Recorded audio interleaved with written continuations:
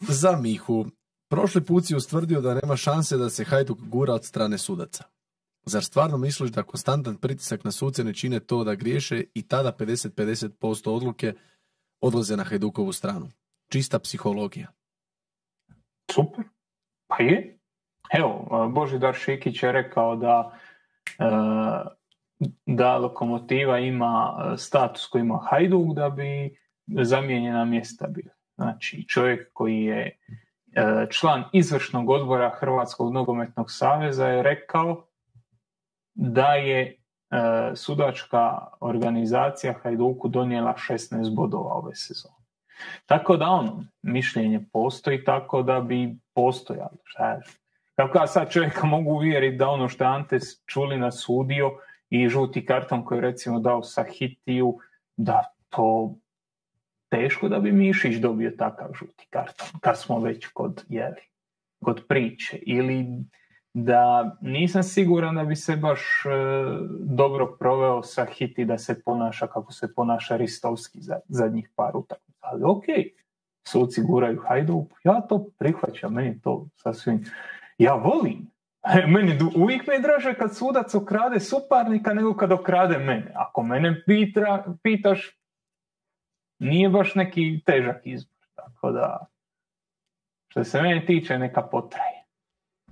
Da, ali znaš šta, tu spomenuo se Šikić, ali to nije, znači, izvršni, ljudi u izvršnom odboru ili kako se već nazivaju te stvari HNS-u, imao si javna obraćanja i Miškovića i Črnka i Šikića, svi oni su u nekom trenutku nešto pričali protiv sudaca, sudačke organizacije, gura se ovaj, gura se onaj, ljudi. A vi ste ti na, na, na poziciji moći, vi ste ti koji bi mogli nešto napraviti. Zašto nitko ništa ne, ne radi, onda, nego se laje preko medija i nikom ništa ne strada. U normalnoj državi on bi isto stradao nakon ovakvih izjava. Nastavno to, jel trebaju promjene koje svi znamo da trebaju, ali normalnoj državi, normalnom savezu, normalnoj ligi, on bi zbog ovakvih izjava dobio opasnu kaznu. Hoće li je dobiti? Ha, neće. Znači čovjek je, da prevedemo što je čovjek rekao, čovjek je rekao da je Hajduk više od trećine svojih bodova dobio radi suđenja. Šta je on kao neko koji je zadužen za tu ligu pos, uh, napravio, ne znam. Ali...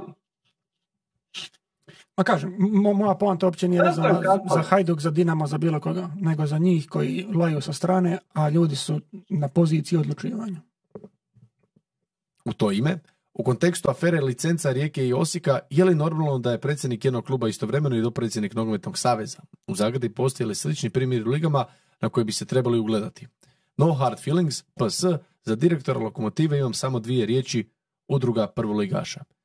E, dotakli smo se te teme bili i zato nisam čitao to pitanje, jer je Miho spominjao to i pričali smo o tome. To, to pitanje je bilo da, tada. Da, i zato, evo, ja sam kriv, ja sam ga namjerno izbacio jer je Miho tijekom podcasta tu temu načeo i pričao o tome, a i danas smo dosta o ovome. Ti si malo prije pričao o tome. Da. Pa mislim, ja ne znam, iskreno ne znam kako je u drugim ligama to, to složeno. Mislim, ok, sad prva pa na pamet La Liga gdje je neki outsider, ali vidim da koliko se sjećam, njega isto guraju neki tabor, on je navijač Reala ili tako nešto, tako da sad ne znam, ali sigurno nije u upravljačkom dijelu Reala. Tako da ne znam sad, e, u Premier Ligi isto mislim da nema nitko ko je baš vezan za klub, ali to je čisto ovako posjećanje i mišljenje nije da sam 100% siguran. Moguće da je u HNL-u to ako uspoređujemo sa velikim ligama ta posebnost, ali ako bi uspoređivali sa ligama sličnih, slične razine, možda je slično, iskreno nema, nemam pojma. Imam problema s tim da oni pričaju ovo što su pričali, a ne djeluju. To je, to je moj problem s tim. Dobro. Generalno, ja možda malo bolje znam, postoje hrpa liga gdje su uh, članovi izvršnih tijela kluba u izvršnim tijelima saveza La Liga, Premier Liga, one nisu dio saveza. Znači, da, ni Bundesliga, Liga, prva i druga Bundesliga isto nisu tek tamo i, i klub je njemački i tako da. Tako, Tako je. Znači, to nisu stvari koje su izravno pod savezom. Premier Liga ne odgovara FA-u, nego odgovara svom vlasničkom tijelu, a to su klubovi. Znači, Premier Liga je udruga prvoligaša, ajmo reći.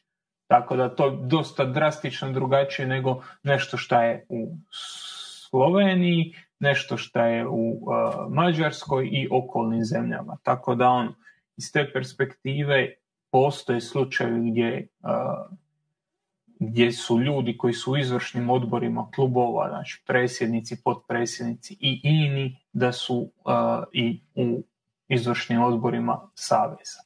Na kraju krajeva ne kažem da je to dobro, ali je logično. Odakle ćeš ti regrutirati ljude za to? Ne, nećeš dovesti nekog iz skijanja.